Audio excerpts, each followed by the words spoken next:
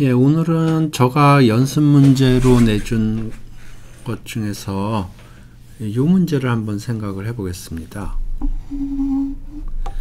예, 아일랜드의 섬에 어, 10커플, 그러니까 20명이 있는데요.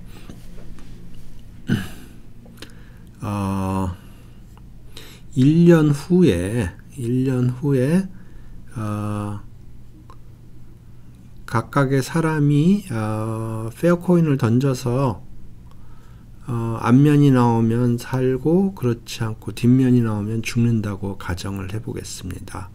그랬을 때 X가 어, number of surviving couples 그러니까 커플 어, 두 사람이 동시에 살아있는 커플의 개수를 X라고 그럴 겁니다.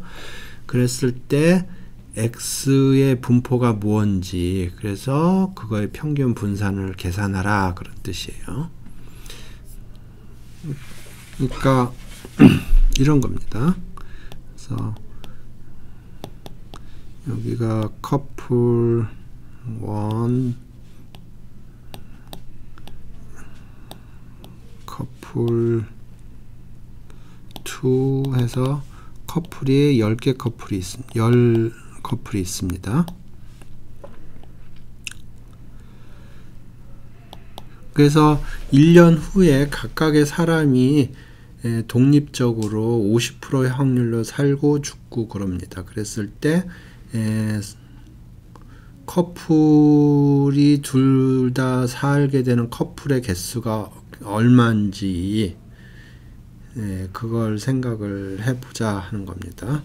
그러면 어, coin flipping을 해서 각각의 사람이 coin flipping을 해서 fair coin을 던져서 head가 나오면 살고 어, 그렇지 않으면 죽는다고 생각을 하면 요 커플이 온전히 survive 할 확률은 어, 4분의 1이게 되겠습니다.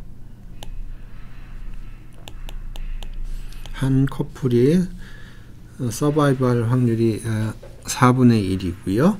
에, 그렇지 않을 확률이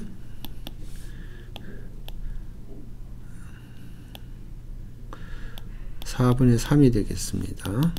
그래서 각각의 커플이 온전히 서바이벌 확률이 4분의 1이고요. 그렇지 않을 확률이 4분의 3입니다. 그러면 어, 커플이 survive 하면 1이라고 그러고 survive 하지 않으면 0이라고 해서 이걸 쭉 더하면 쭉 더하면 survive한 커플의 개수가 counting이 될 겁니다.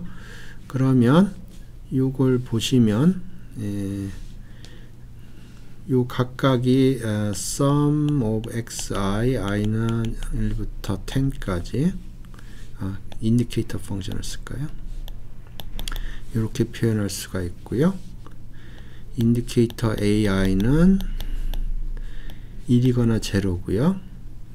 어, Ai, 어, Ai라는 거는 i-th 커플이 survive 한다는 거로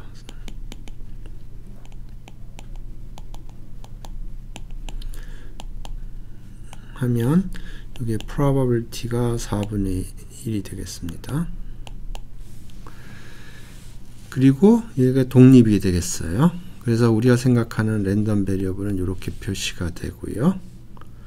그러니까 x는 이렇게 되고 요거는 iid 베르누이 1 over 4 이렇게 될 겁니다. 그래서 x는 바이노미알 n은 10이고요.